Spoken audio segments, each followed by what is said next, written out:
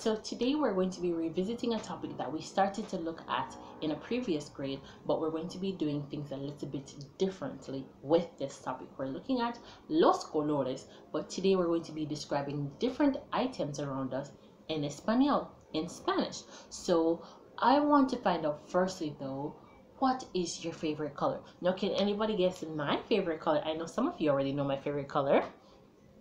And C, my favorite color is purple. So you're going to also be able to ask persons what their favorite colors are in Spanish and they're going to be able to tell you and you are going to also be able to say what your favorite color is in Spanish. So some of the colors that we know are black, pink, green, purple, blue, red, yellow, white, brown, red. And I'm sure there are other colors, but these are the colors that we're going to be looking at today. Now, in Spanish, these colors are verde for green, morado, purple, azul, blue, rojo, red, amarillo, yellow, blanco, white, café, brown, or you can say marron, brown. This one is rojo, red, negro, black, y la última, rosado, which is pink. Now, we're going to be singing a song that I taught you some time ago. I hope you remember it about los colores. And it goes like this. Los colores, los colores. Muchos, muchos colores. Los colores, los colores. Muchos, muchos colores. Rojo is red. Cafe is brown. Blanco is white. Colors, colors, colors. Los colores, los colores. Muchos, muchos colores. Los colores, los colores. Muchos, muchos colores. Amarillo is yellow. Anaranjado is orange. Azul is blue. Colors, colors, colors. Los colores, los colores. Muchos, muchos colores. Los colores, los colores. Muchos, muchos colores. Morado is purple. Verde is green. Negro is black. Rosado is pink. Colors, colors, colors. Muy bien. So, negro is black. Just refresh your memories.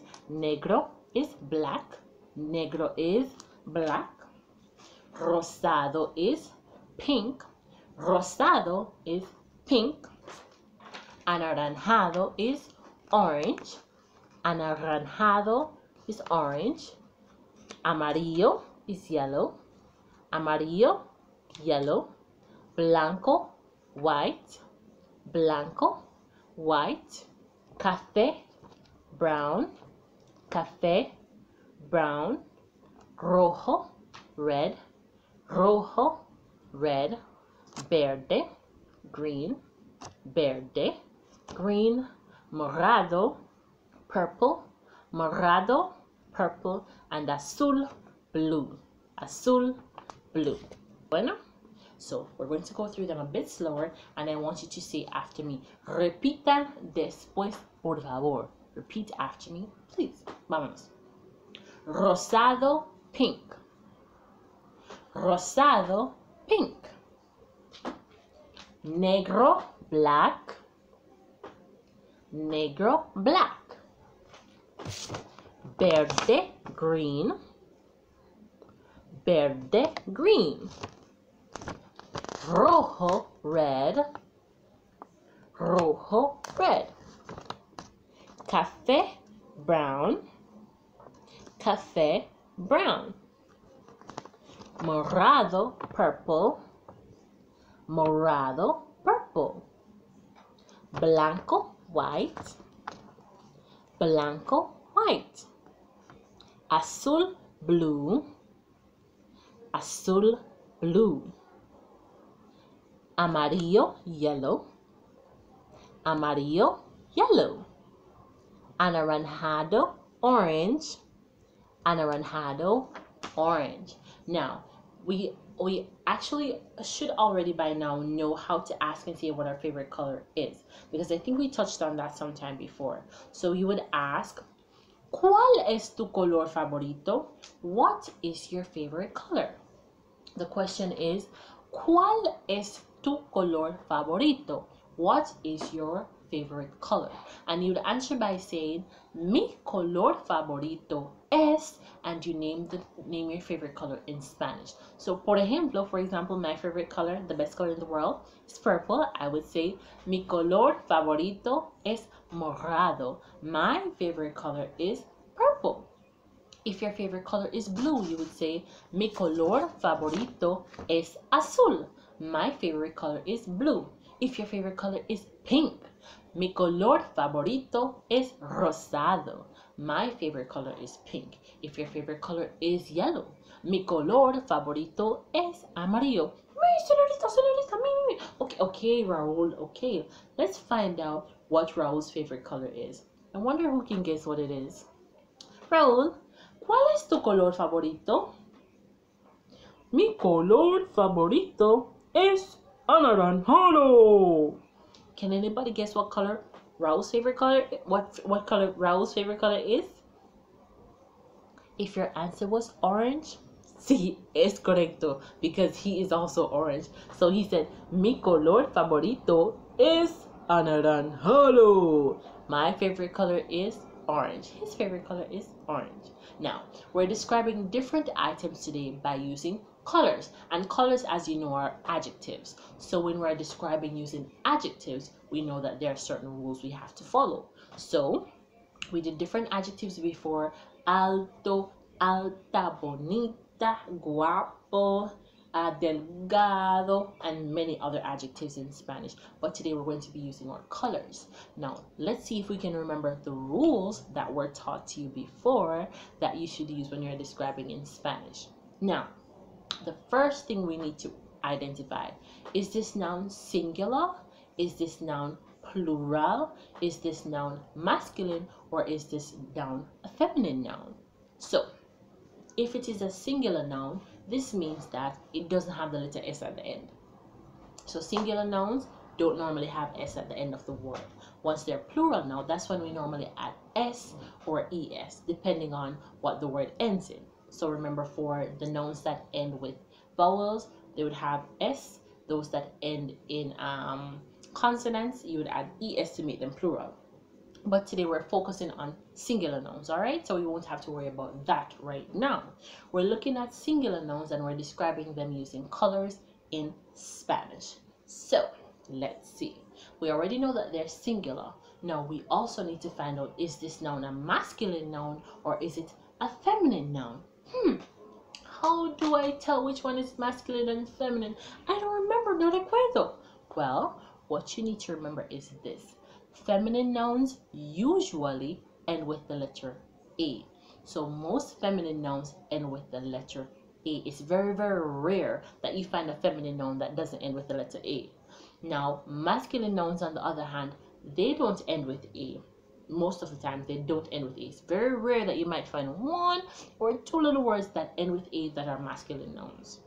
For example, un sofá right? We did that in grade two. Um, things in the house.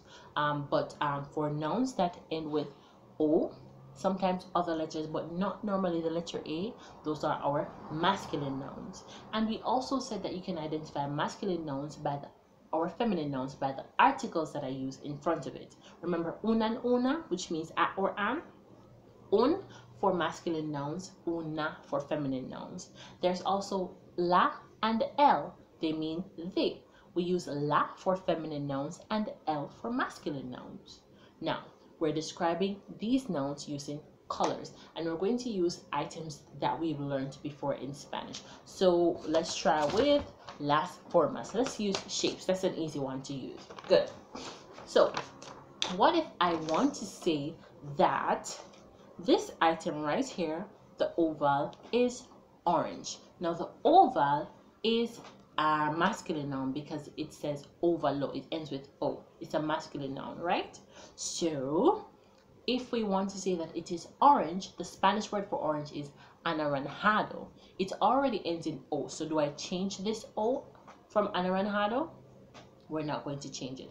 For masculine nouns, if the color that you are using ends in a vowel, you're going to leave it just as it is.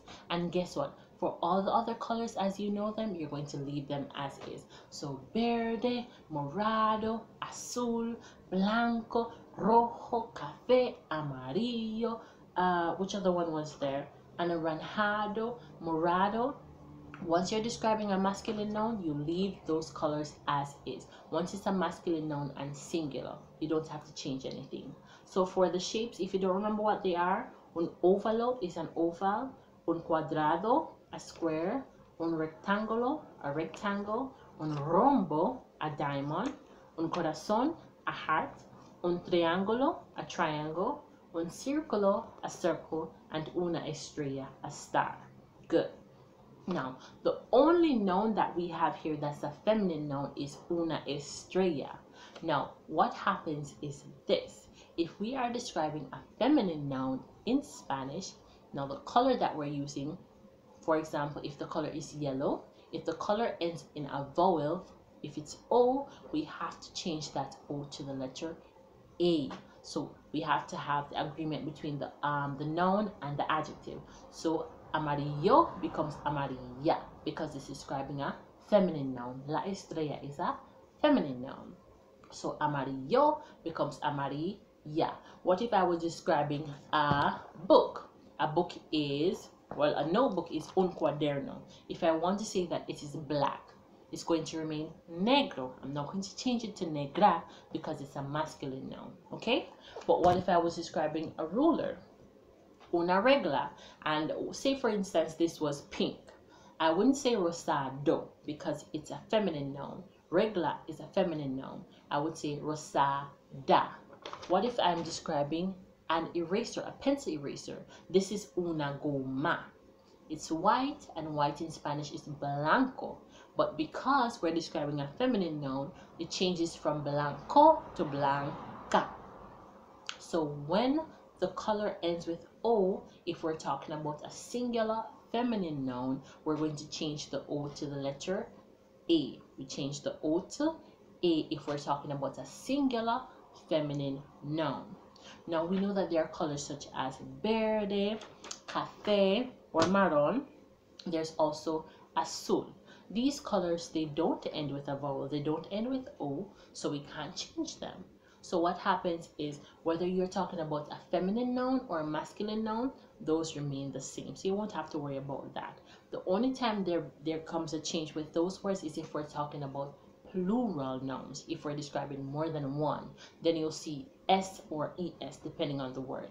But for singular nouns, azul, verde, café, marron, they remain the same. Okay? So if I want to describe this circle right here, it is white, and I want to say that it is white. I'm going to say that the circulo, which is a masculine noun, is blanco, masculine. Good. Triangulo. Triangulo is the Spanish word for triangle. And the color that we have here is brown. So the Spanish word for brown is café. Now, do we add an O to café to make it cafeo? Hmm, does that sound right? I don't think so. So remember, cafe remains the same whether you're talking about a masculine noun or a feminine noun in its singular state. The next one is corazon, and the corazon is red. The heart is red.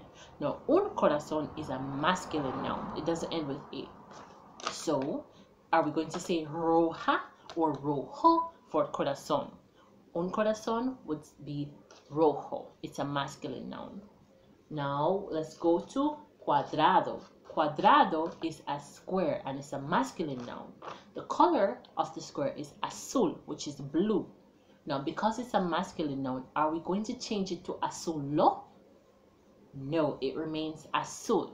If the star was blue, and star in Spanish estrella is a feminine noun, would we say azula? If the star was blue?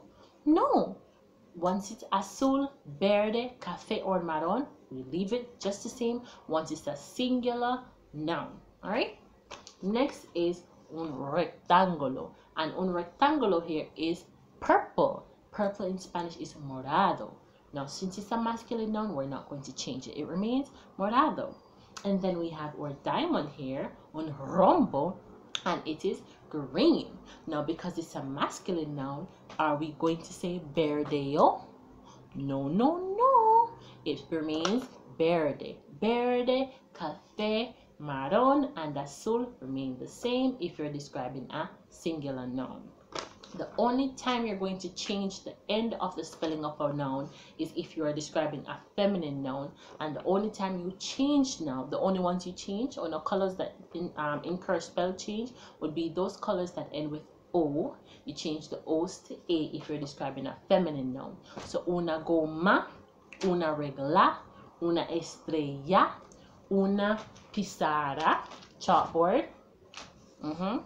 una tiza, those nouns, once you're describing them in Spanish, if the color that you're using usually ends with an O, you have to change the O to E to allow the adjective to agree with the noun, all right? Good. So, we're asking the question today, ¿de qué color es? Followed by an item. So, for example, ¿de qué color es la goma? What color is the eraser? ¿De qué color es la goma? What color is the eraser? Now, since it's white, I would say la goma es blanca. La goma is a feminine noun, so it becomes blanca. We change the O from blanco to blanca. Change it to A. So we say la goma es blanca. ¿De qué color es la tiza? What color is the chalk? Now, since it's green, we're going to say la tiza es verde. La tiza es verde. We don't add an A to verde, it remains the same for singular nouns. ¿De qué color es la regla? It's also green, so we say la regla es verde. The ruler is green. ¿De qué color es el libro? What color is this textbook? Now, since it's red, we would say El libro es rojo. It's a masculine noun. So el libro es rojo. It's, it keeps the O at the ending. ¿De qué color es el lápiz? El lápiz ends with Z. It's a masculine noun. ¿De qué color es el lápiz? What color is the pencil? We answer by saying el lápiz es anaranjado. It's a masculine noun. The pencil is orange. El lápiz es anaranjado. And let's do one more. ¿De qué color es el bolígrafo? What color is the pen? The pen is blue. We would say el bolígrafo es azul. El bolígrafo es azul. So remember your colors.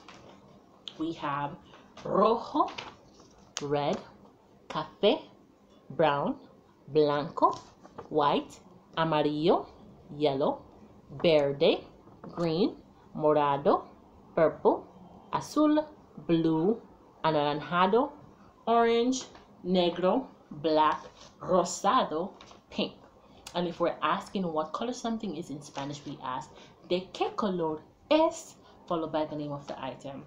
And then to answer that question, we start with the name of the item. For example, la tiza, the chalk, we say la tiza es. The chalk is followed by the color that the chalk has. And you also have to remember the agreement of nouns and adjectives in Spanish. For singular nouns now, we're not doing any mass um plural nouns today. For the singular nouns, once you're describing a feminine noun, the colors that usually end with O, we're going to change the O's to A. And for the other colors like azul, verde, cafe, we leave them as is. Masculine nouns, the colors as we know them, we use them just the same. Rojo, amarillo, blanco, they already end with O, so we don't need to change them, alright? So you have to remember that. Now, I hope everybody learned something today. You're able to share your favorite color in Spanish and you're able to describe different items that you know using colors in Spanish. Remember your agreement of nouns and adjectives, okay? Now, what you'll do for me is to get your workbooks and you're going to be completing the activity on page 11 and also the activity on page 12 there. So get your crayons, you have some coloring to do. You're going to be matching colors to their Spanish names and you're going to be coloring a picture by with the colors that are indicated but the colors are written in Spanish so you have to pay very close attention all right so that's it for today and I hope everybody enjoyed our lesson and we all learned a lot. So from what Raul and I we say adios adios adios. Adios adios adios. Adios adios adios adios. Adios adios adios. Means goodbye. Adios estudiantes. Adios, students. Bye.